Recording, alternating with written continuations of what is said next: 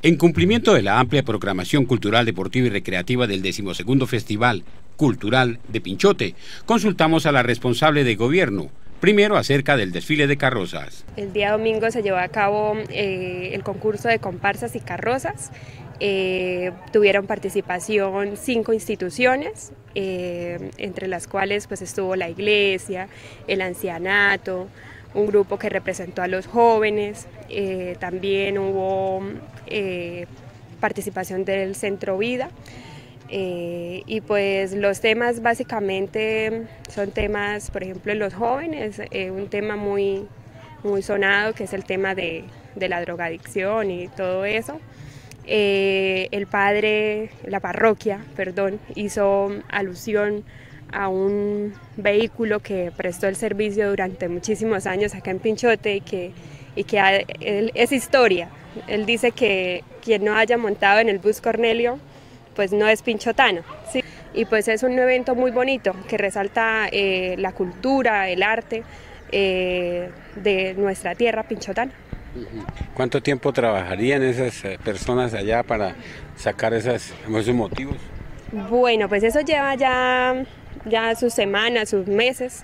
Eh, hicimos la convocatoria y pues eh, previa inscripción eh, ellos nos comunicaron que estaban interesados, pero ya llevan sus semanitas en eso.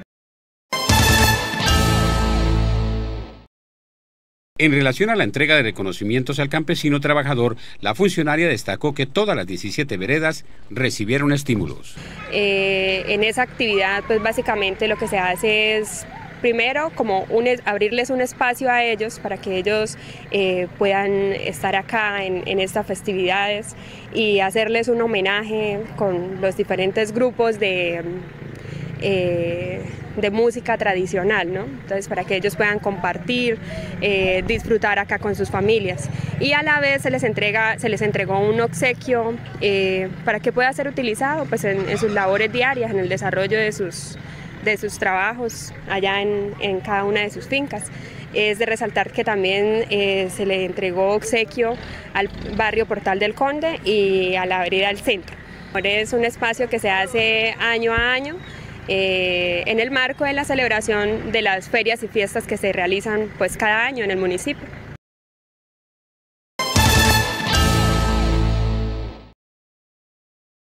Por su parte, en cuanto se refiere a las carrozas, el párroco de la localidad hizo su aporte histórico, explicó el contenido de su comparsa y carroza. En el, marco de las, de fiestas de Pinchote, la alcaldía nos ha invitado a la parroquia a participar y entonces pues quisimos, tomando una frase del Papa Francisco, mirando el pasado con gratitud, y entonces con el EPAP y con los jóvenes de la parroquia eh, elegimos cinco personajes de la historia de Pinchote, por los cuales le decimos a Dios gracias. El primero de ellos eh, Pedro Santos Meneses, fundador de Pinchote, quien con su esposa Petronila Plata fundaron su familia, 11 hijos, dentro de esos hijos Santiago, Fernando y María Antonia Santos Plata.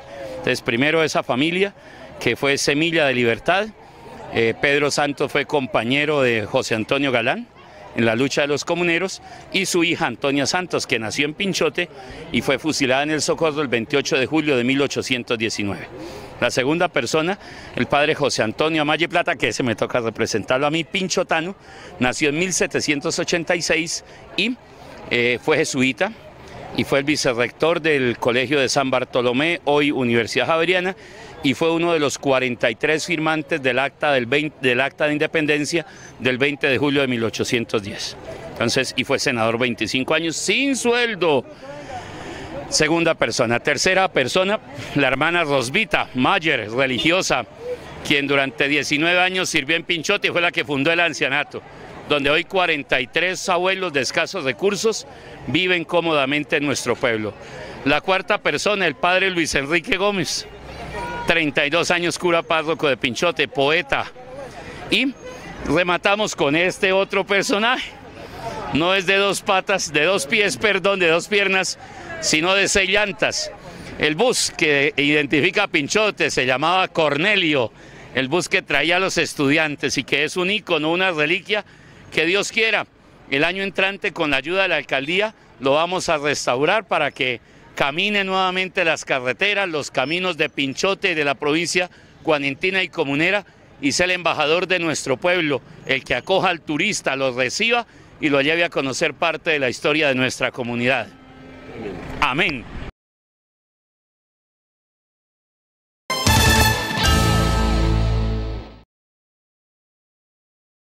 Continuamos con la descripción de actividades del Festival Cultural de Pinchote.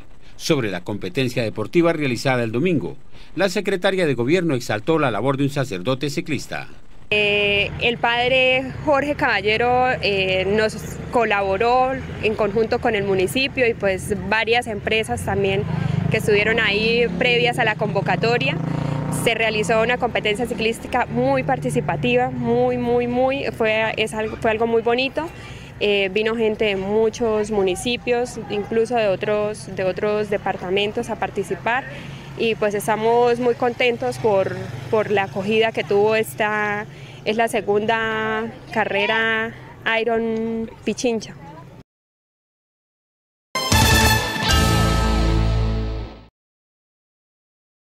También, en estas festividades culturales, se habló sobre el Festival de Danzas, Así se hizo la descripción del evento. Fue una actividad muy bonita que, pudieron eh, disfrutar tanto propios como visitantes. Eh, es una actividad que se ha hecho pues, a lo largo de, desarrollo de, todas las ferias y, pues cada vez con, con grupos, en este año por ejemplo, traemos la presentación de grupos de música de cuerdas.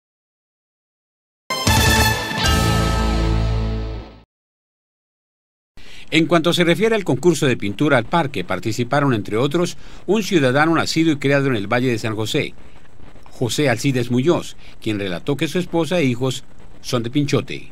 Toda la vida me ha gustado el arte y en especial la pintura. A mí desde pequeño traigo eso y, y siempre que, veo una actividad de, de pintura, pues a mí me llama mucho la atención. Entonces, por eso quisimos reunirnos un grupo de personas, amigos, eh, muchachos, que quieren también trabajar la, la pintura. En la jornada participaron más de 10 artistas de las artes plásticas.